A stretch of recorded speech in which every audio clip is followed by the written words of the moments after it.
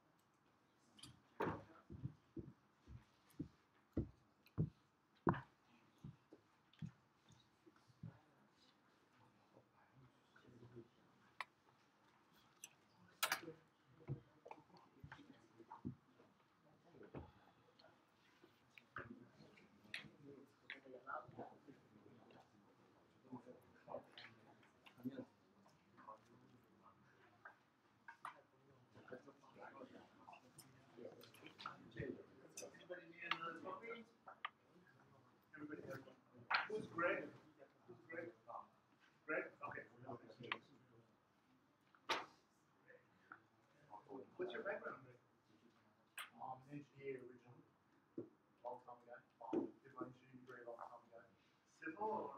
Sorry? Civil? Chemical, chemical, chemical here, about thirty years ago. What? Okay. Surprising number of data scientists. Also an industry. All right, so, um,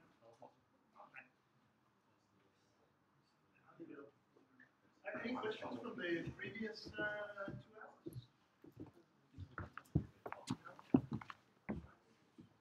So I was asked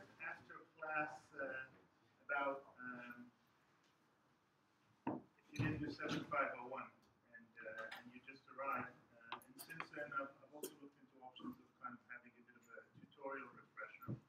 Uh, so I'll send a message to who asked me. so uh,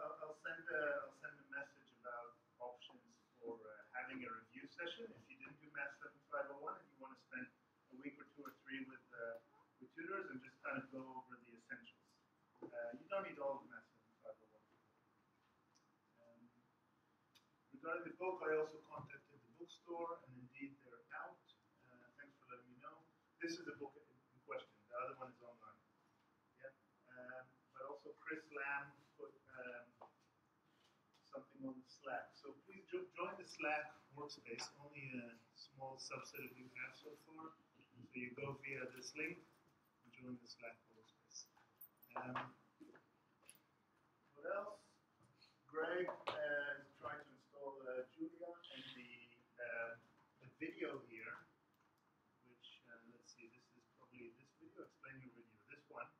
Um, so this video is before you needed to do using PKG in Julia, so you can see that correspondence in, in Slack. Uh, so Julia is a bit evolving. Uh, so that was a scrolling thing. If anybody wants to make a new video, you can get uh, 20,000 hits on the video rather quickly. And now you're an expert there. So. You're not a YouTuber. not yet. I like learn to it. No, an, an installation video can go a long way. All right.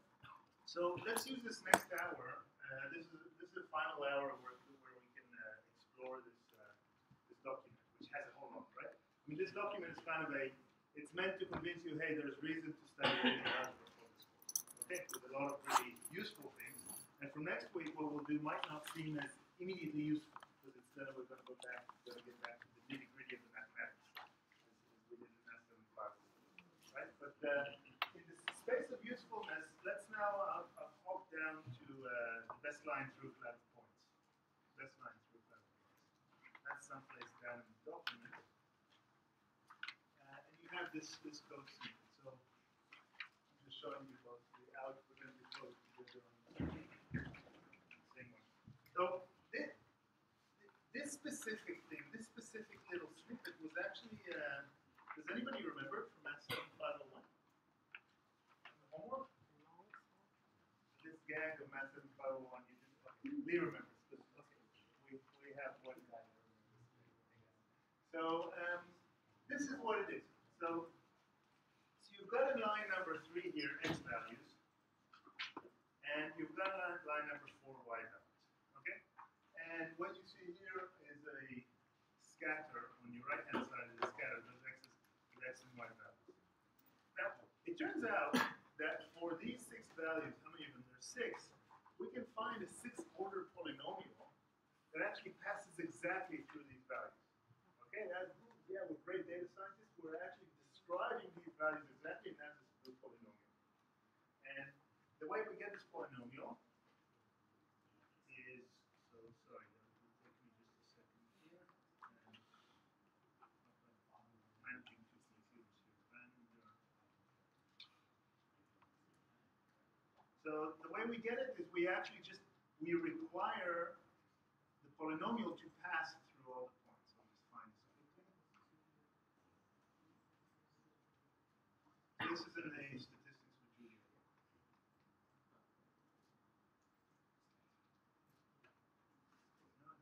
Oh, there we go. All right. So this is this example. Oh, sorry. So we can get an n minus 3.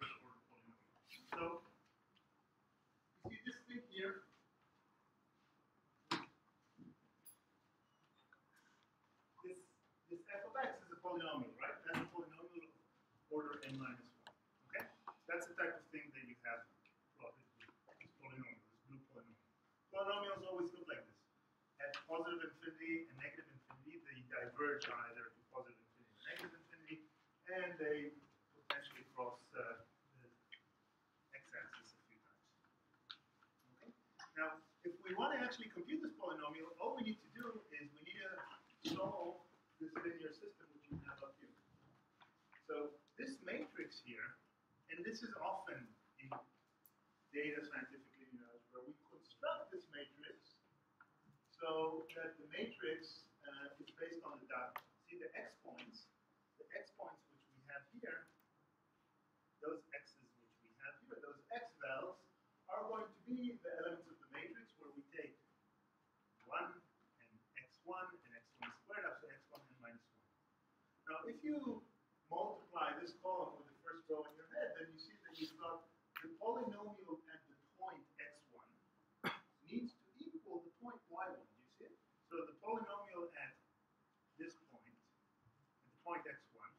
which is the inner product of this row and this point, needs to equal the point y1. And the polynomial of the point x2 needs to equal y2. So for each point, we construct one row of this matrix. This matrix is called the Vandermonde matrix. So then if we want to find the coefficients that do this quote magical thing of passing through all the points, well, we just solve this linear system of equations. That's all we do. It's kind of beautiful. It's like, whoa, you want to you want to pass a polynomial through these endpoints here? Will then give you an nth order polynomial? Poof, you've got a perfect model. You can impress anybody with it. I mean, certainly people in the 17th century were impressed with this. Okay, so you can you can fit a polynomial that can pass it through any set of points. So here it is. Here it is. Here's the construction. So what you have here is line number seven exactly constructs this matrix. Now, let's look at this construction in a second. So it uses these magical square brackets. Okay, let me explain how these magical square brackets work. Uh, those of you that have done Python or not have seen this type of thing before, but look, I will do um, Z for Z in 1, 2, 3. Okay. What this is, this is called comprehension. Okay? It's, it will give me a, an array that has and. Okay, not so impressive so far. But I can do, for example, also z squared. If you would like, z squared. This is how you do squared, not star star.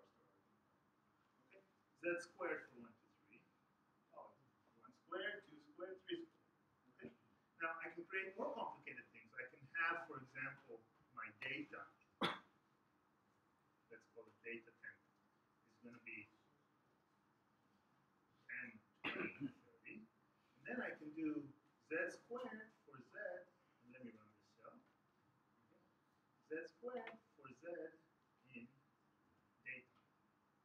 So it's going to take 10 squared, 20 squared, 30 squared. Shift enter.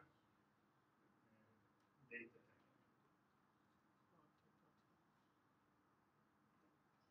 So this construction is very useful. It's just a way. Who's, who's done this in other languages? Stuff is comprehension. Python, R has a variant of this as well, etc. I mean, C certainly does. Um, so here we do it for this matrix. So look, we are constructing. So this bit of code here says, I want this matrix. Now this is not just some arbitrary matrix.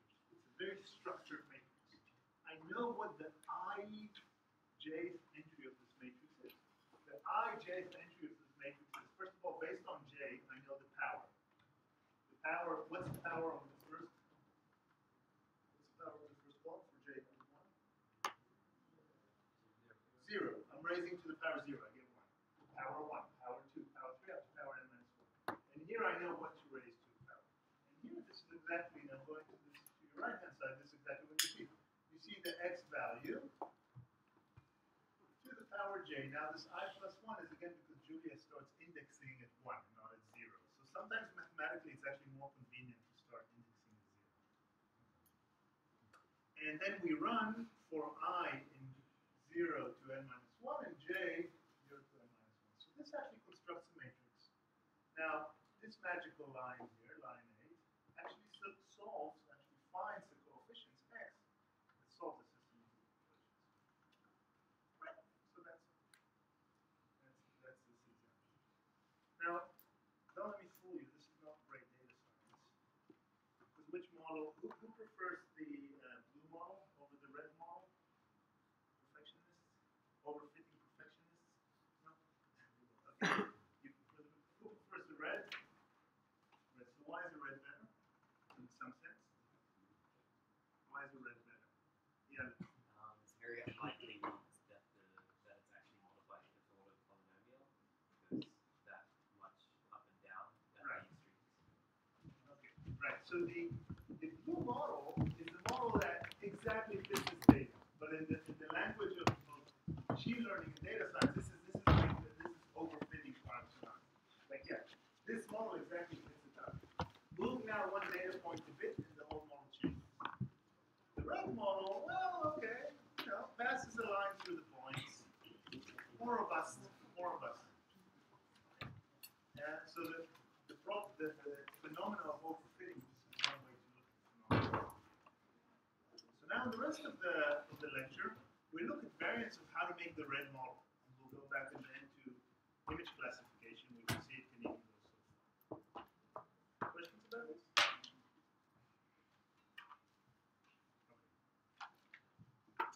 Let's go to this next example. So this next example starts with this bit of code. Let me let me run this snippet. And these examples, most of them are modifications from examples from the statistics with Julia book. That's the, so again, that's this is the first day in the course, etc.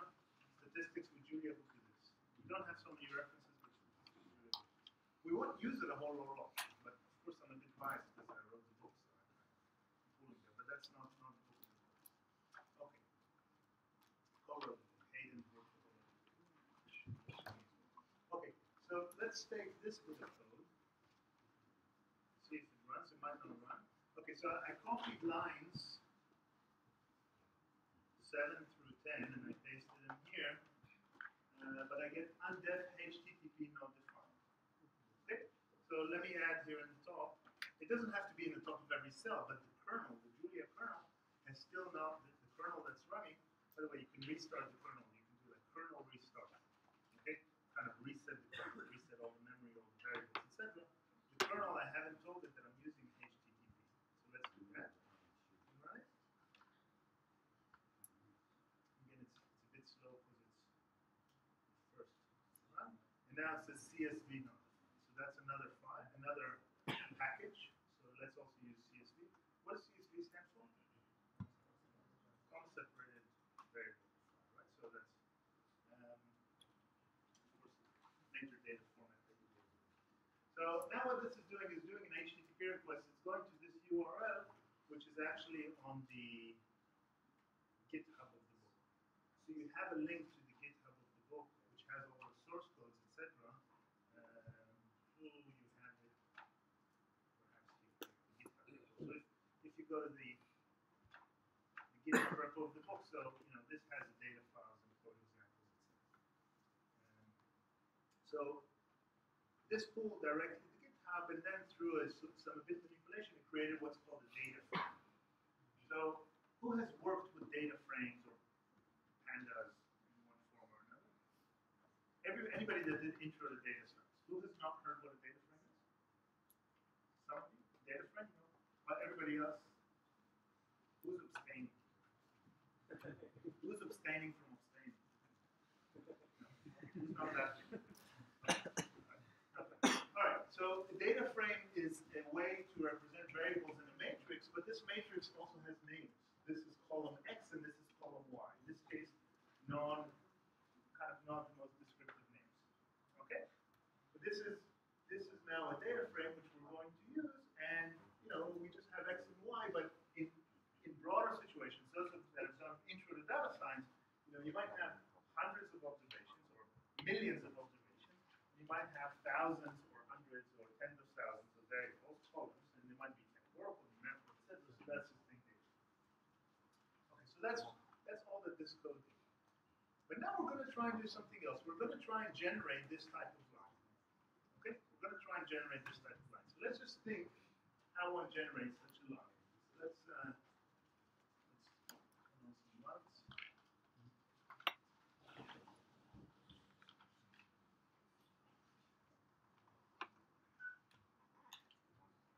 Okay.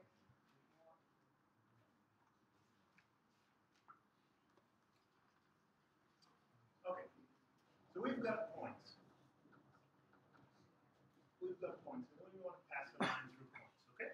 We want to pass a line through points, well, clearly what we want is we want some relationship y equals alpha plus beta x, okay? So this is x, this is okay? So alpha is going to be this point, the intercept, and beta is going to be the slope. So we can view passing the line through points as searching within alpha beta space. Okay? So you can put in a different axis alpha. And this is a beta. And every point here in alpha beta space is going to map to a different line. Right? Now, the typical way that we would do this is we'd say, let's look at the loss of alpha beta. This is loss. What do we mean by loss? Loss is the imperfection of our model. Loss is imperfection of the model. I mean, we have a model Otherwise we have to settle for things like the red model, and we are going to lose. So data science is about the life not being perfect, right? So there's some loss, okay. So loss of alpha beta. Now this loss takes the data points, these ones, okay? So the data points you can call them x1 up to xn, and y on 1. Treats them as given, that's a loss. That's all. Okay, so here are two potential loss functions. Okay? Here are two potential loss functions. Here's one. Sum i 1 to n of yi minus yi hat squared. What does this mean? This means we'll take each point yi and we'll see what's the yi hat that's predicted by the alpha beta that we choose. I mean, what would be yi hat?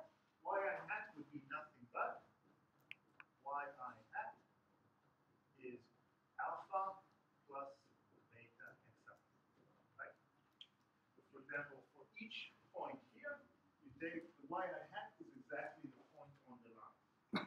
okay, but this is true for every alpha and beta. I mean, we're searching what is alpha and beta. Right? This is the space in the loss function for which we're searching. Okay? So that's one option. That's the most common option. That's least squares. Most of the course will be about this.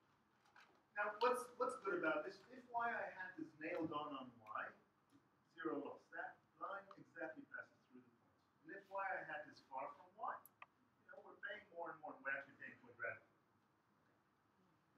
very analytically tractable. A lot of this course, two whole units, and then least squares will be about this in generalizations in many dimensions. But that's not the only loss.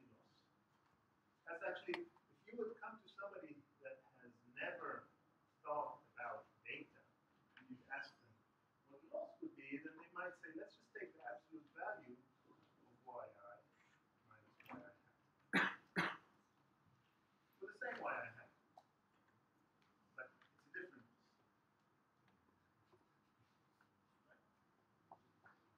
Now, this one also penalizes your pain when you are not exactly correct. But it's actually, as you get farther and farther, you don't pay quadratically. You just pay linearly. This one's actually a bit more robust to outliers. Outliers are data points that lie out there. Because with this one, if we have one specific point that's kind of way out there, it's going to completely change this loss. So what we have in this code example, so I'm going to run this code now. It's going to run for a is a very, very, very stupid search of just trying random alphas and betas. No, no knowledge in this at all. Just trying random alphas and betas and seeing what is the alpha and beta that minimizes this loss and what's the alpha and beta that minimizes this loss. The data fitting problem is minimizing out, finding the argument of alpha. And so again, this doesn't use any mathematics. It just examples within some sensible box of alpha and beta. And it just tries random points. And each time that there's a new minimum that's better than for a given loss, so it does it once for this and once for this. Each time there's a new minimum, it says, oh, I got something better. Oh, I got something better. You guys should always know that you can always reserve to random sampling randomly. The only problem is if your space, this is two-dimensional space. If your space has 20,000 dimensions, as it, as it often is, sampling randomly, you're never going to be able to get all the points. Okay? But at least it, at least it works on this example. No, no math needs to be explained. So here you have the blue line for the same set of data points. The blue line is L1 loss. So this we call L1. So this is like the L1 loss. You'll, speak, you'll read about norms for next week, and, then you, you see why it's L1 loss, and this is the L2 loss. Okay? And you actually see graphically, you see this depiction. So the L2, what does it do? It minimizes squares. It exactly looks for a line where the sum of these squares, squares, yi minus yi bar is exactly this distance. This distance. This is this is yi, this is yi hat. Right? And that's a square. Whereas L1 just minimizes distances. So you do have two different lines. Which one to pick? Well, I don't know. That's why you're studying data science, and you know, in much more complicated settings, you'll know which is better, etc. Which one's easier computationally? Kind of this one or this one? What's easier computationally? Both, right? So this guy was did 220 years ago, and a lot of what we do is around this, and that's called least squares. This is this is one. There are methods to do it other than the random search. Okay, so that's that's this example. And now let's use least squares for. Oh, okay. So now now let's now let's look at this. So now that we've gone this, let's focus on, on this example. Stop me at any point if there's if you have questions.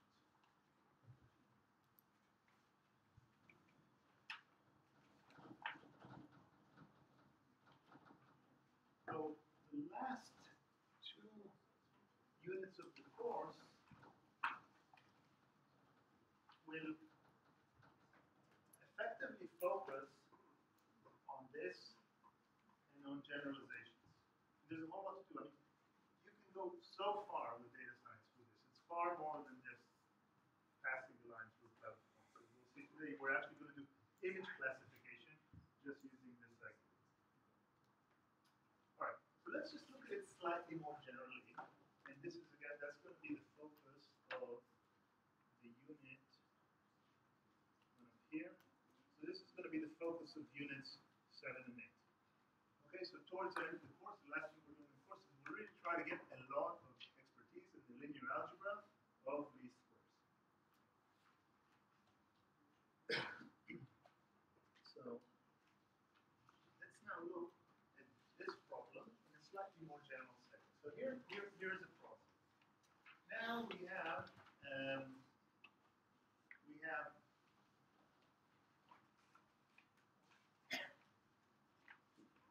we want to be uh, to solve AX. We want to solve y to solve AX. We, we've looked at this before. We had AX equals y, x equals b. We want, or we had x equal, we had a b equals ay, but we want to do this. And let me even change the x just to be kind of consistent, somewhat consistent with this. We'll call it beta. So let me explain. So A is going to be a matrix of uh, dimension n by p. And generally, p is going to be it's going to be a skinny matrix. So p is going to be smaller. So it's n by p. You can think of n as observations and p as number of variables. And beta is going to be a vector in Rp. And y is the vector in uh, R. So this is this is all. Now, what we want to do is we want to at first this looks completely different. This will work on it. We want to find good beta. Okay, finding good. Good beta. We want a good beta. So if A, if P was equal to N and A was non-singular, meaning that its determinant is non-zero, meaning that it's invertible, then you can have an you exactly, you have the perfect beta. But in general, you have here too many points in A, yeah, this is A, you have too many points in A to actually know exactly what the best beta is. So what we can say is we can say, let's minimize over all of the beta in R A beta minus 1. Now, by this, we mean this is called the norm. And you'll read about this in the next week. The next week's week. So a norm is a the size of a vector. This looks like a lot of things, but when you see objects in linear algebra, and those that did 751, you're already trained with this, and those that haven't, if you had a gap, you need to retrain yourself. But when you see this, right, this is a, a vector, a matrix, a vector, so this is all a vector. Okay? This is all a vector. This is a vector of errors. Again, this vector is going to be the zero vector if beta exactly does the best job. But in general, we can. Now, if we write this in a slightly different way, then that's just minimizing beta in RP of uh, sum i one to uh, n, so there are n observations of a beta i minus y i squared.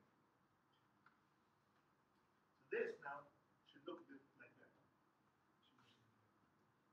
So let's first of all put this problem in the context of this problem.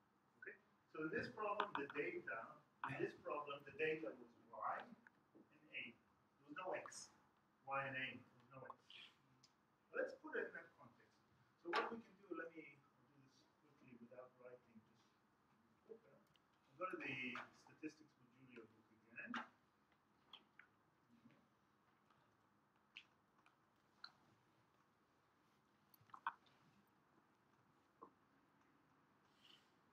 Oh, you cannot see this. Audience, right? You should see it in a second. Hopefully it's in a second. Matrix A. So I'll put it here. Okay. So look, if you put the matrix A like this, you put the matrix A, it's kind of reminiscent of what we had before with fitting polynomials. But now we stick in the matrix A, we put column of ones, okay? And we put the data points of the x's. Okay? So A, now now P just equals to one. Now you have it. Okay. So you see in P just equals two. So we're we're, we're comparing it to the problem before where, where x were just single points, we're just scalars. So what you put is just x1, x2, x up to xn, and that's the works. So now beta is just a two-dimensional vector, right? So beta, the elements of beta, this beta, the elements of beta, it's like the first one was alpha, and the second one was another beta. What I'm saying is that you can describe this problem of data fitting as this problem, which is in general just called least squares. It's least squares. Now, this is quick, but the mechanics of how to do this are part of what we do in towards the end of the course. It's also very well described in the lesson. So then, okay, if you believe me, then you believe that this, or you can also write it like this, is a somewhat interesting approach. Okay, because at least it describes the problem of fitting the cloud through points through cloud um, pretty well. So what do we have in this example? Remember how for the Markov chains we got to the same number or the same vector in like four different ways? So here we're getting the least square solution in, I guess, I don't know, 10, 12 different ways. Many different ways. Now, understanding the variance these ways is kind of important because the, the linear algebra behind it will help you understand other things in data science and machine. So let's look at, at one specific way. And let's look at two ways. So again, what we have in this code example, let me run it so we see it, this system runs. Um, so we've, we've got a few data points, it's, it's still running. Okay, it's, pro- it's probably it's probably running because it's probably compiling the package GLM. Does anybody know what GLM stands for? Generalized linear models. Okay, GLM. So if, it's, if you're doing logistic regression, who's, who's heard of logistic regression? okay, so that's you do that with GLM. Okay. Um, okay, so this thing runs. So again, it's just it's creating. This is all. This is the. Um, this is the alphas and this is the betas for this data, and they're all the same. So they're all the same by design. This is kind of how this problem is designed. So let's let's look at at this approach. First one. So I will go through this.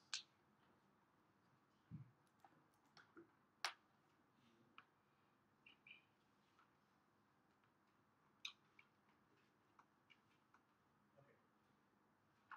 Who has seen such a formula before?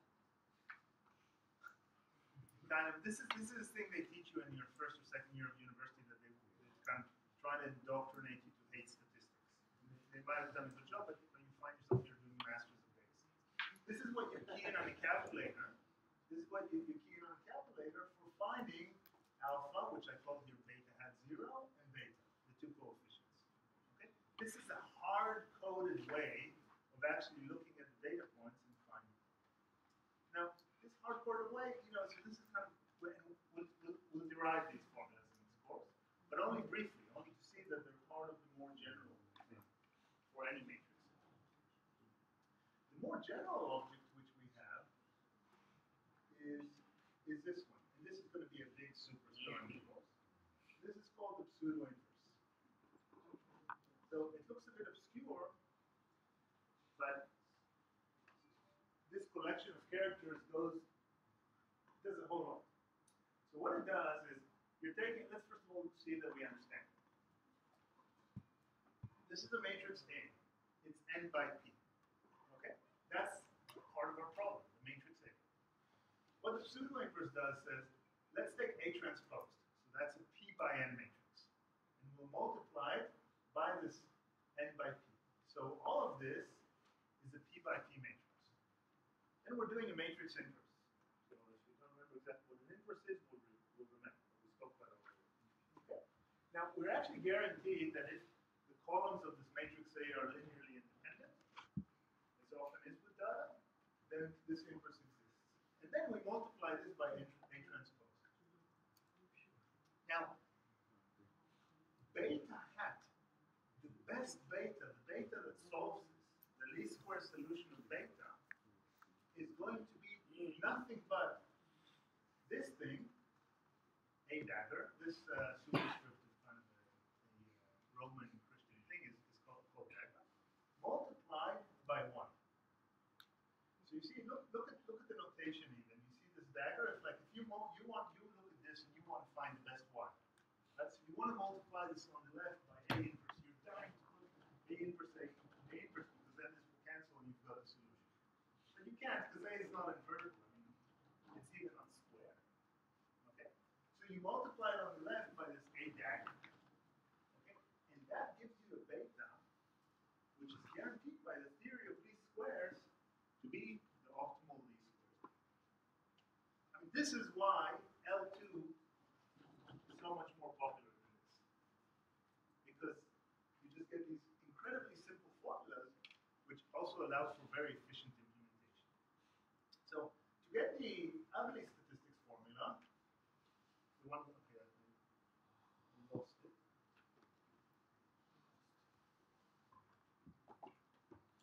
This one, it just follows from evaluating the cleaner linear algebra formula. So in linear algebra, sometimes we take complicated things and we make them in, in formulas that are actually much less complicated. So it's, still it's complex, but you have to you have to agree that this is a relatively neat formula, and it goes along. So let's just find this very quickly on the code, and then move on to the last example. So approach A here did exactly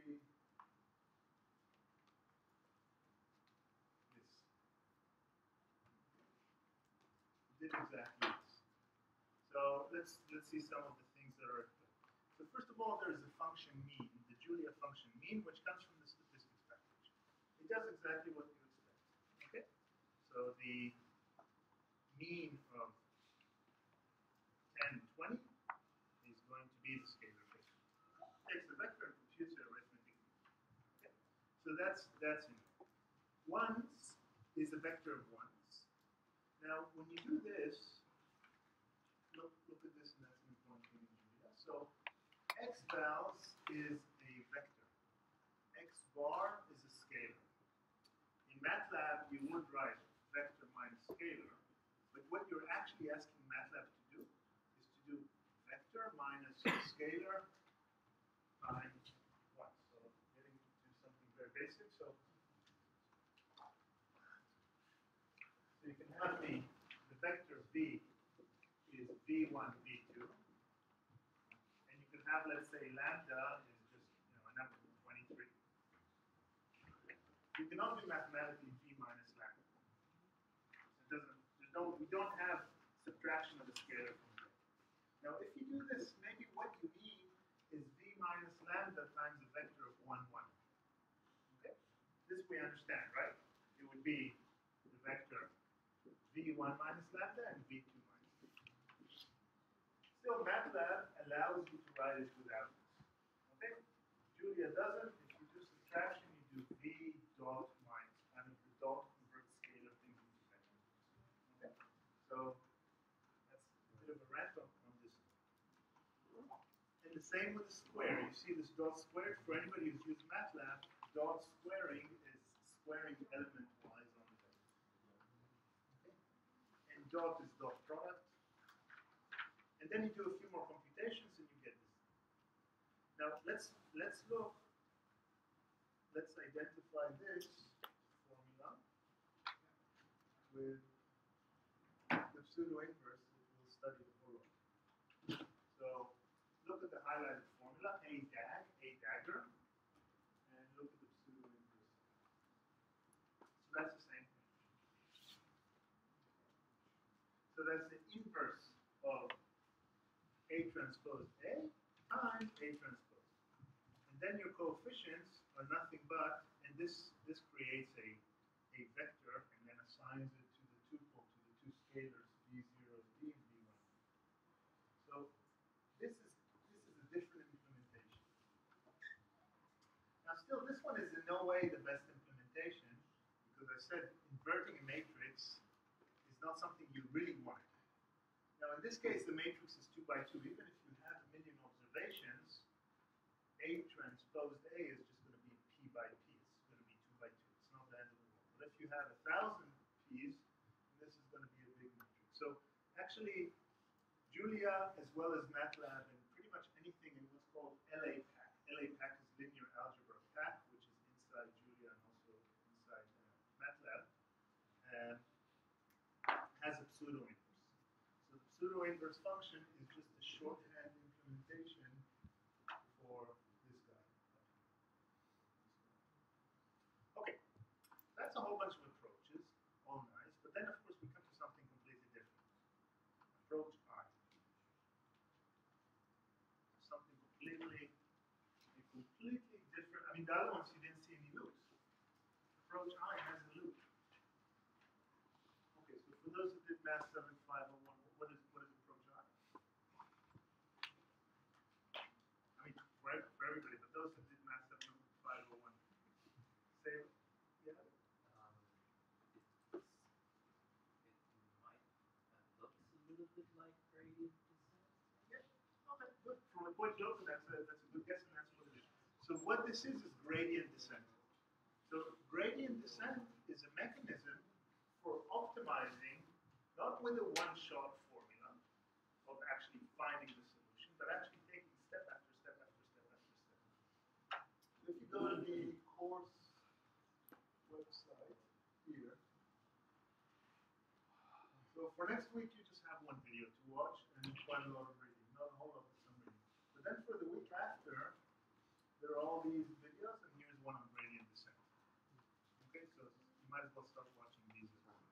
So here on the left, what you have is an iterative algorithm that does the following.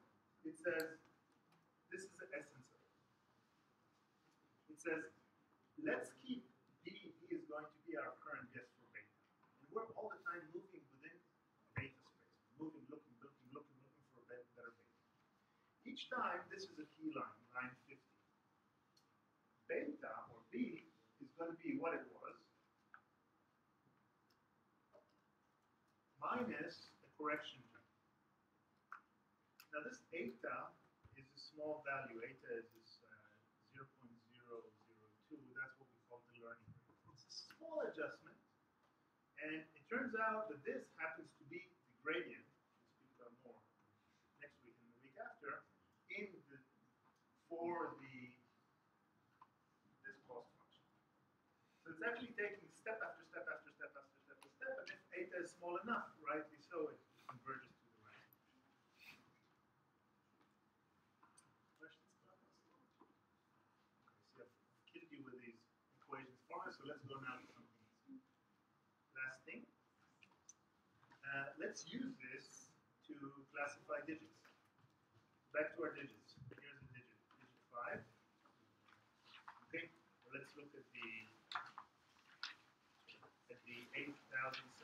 This is digit 8,773.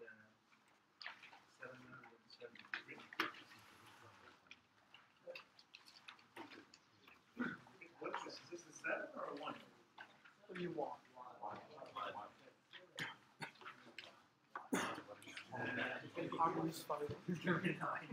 okay, so so I'm going to go to labels.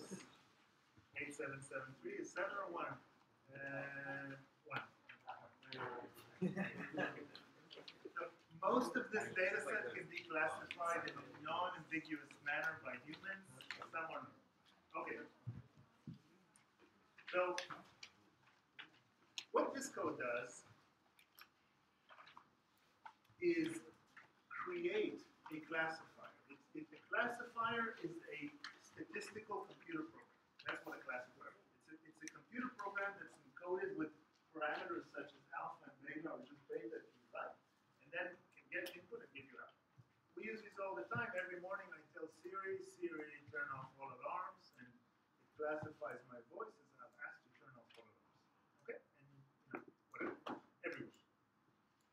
So, this code, which has a lot of kind of fluff code around it, but this, and this is this is explained in statistics with Julia book in detail. But the essence is, is the essence is right here. I'll show you already. Is line 18 here, pseudo inverse. So the essence is just this. And with this, we're able to classify the digits for an accuracy that's certainly not industrial grade, as 86%. 86%. So the way this works, it trains over 60,000 images, trains over 60,000 images, and then tests on 10,000. And when we test on the 10,000, out of the 10,000, 86% were classified correctly. No neural networks, no bells and whistles, least squares.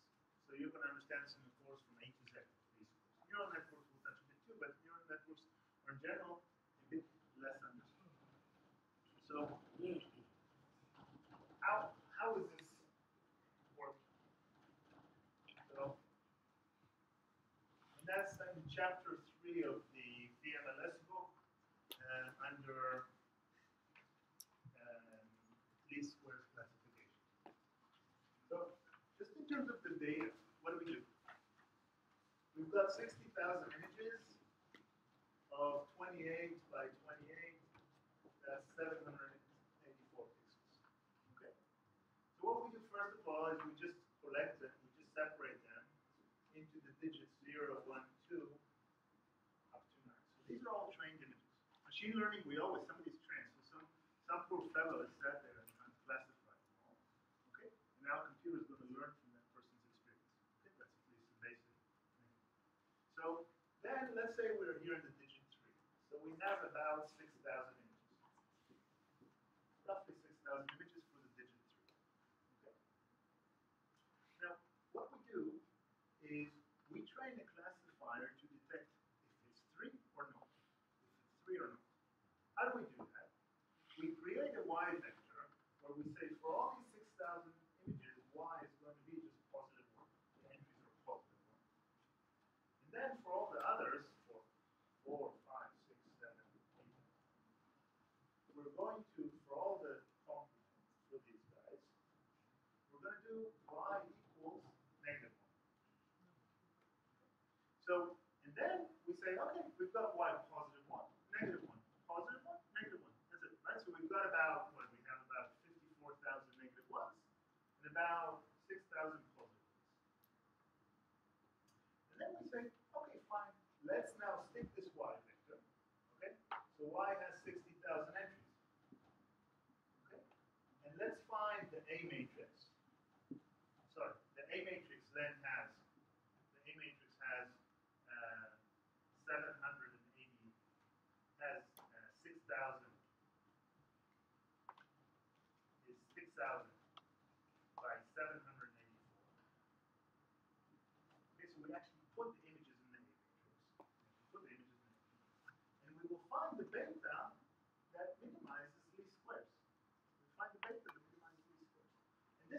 happens in this one line of code here, this pseudo inverse.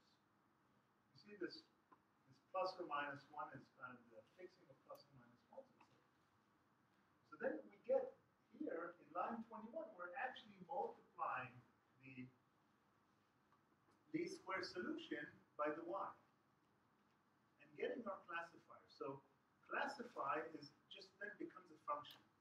So classifier knows to tell you for each digit, well, it doesn't know if it's zero or if it's three or not three, but it gives a score.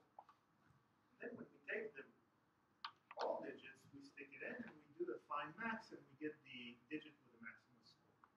This is all very quick, but it's just a sequence of very simple engineered steps, which when we put them together and, do, and use least squares, that we're going to learn a whole lot about, we then test it on the test uh, data, and we get 86% accuracy. So let, let me just run this again so we see you know, how long it runs.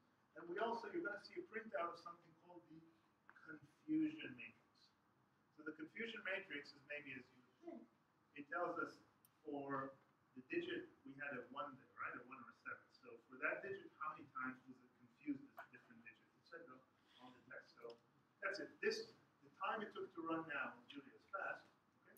It took to create the classification on the 60,000 images and to test and get our 86% benchmark. And for example, look, confusion. So uh, zero, the zero is 944 times counted to be zero.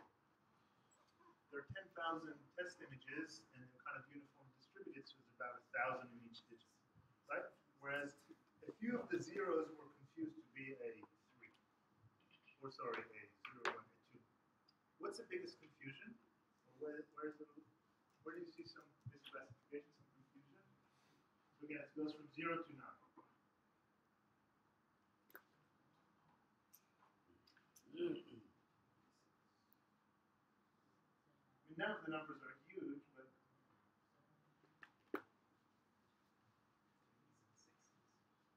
what's what's the biggest number off the diagonal? Is it this?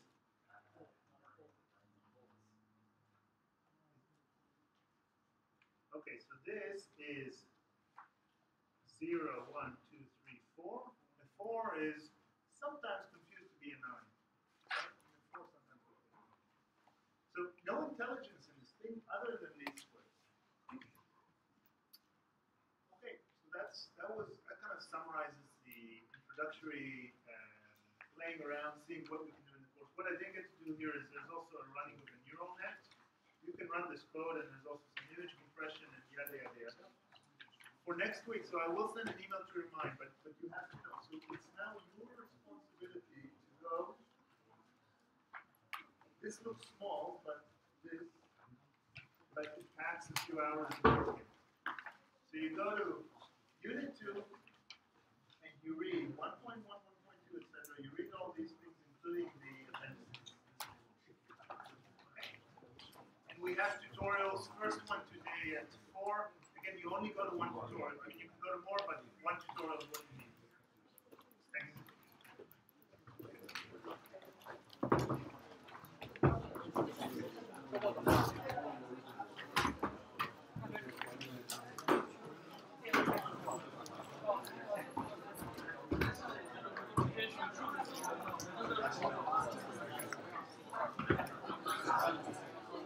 Thanks.